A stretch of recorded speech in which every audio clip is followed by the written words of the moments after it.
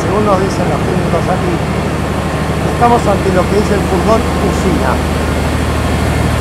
que generaría alimentación para todos y cada uno de los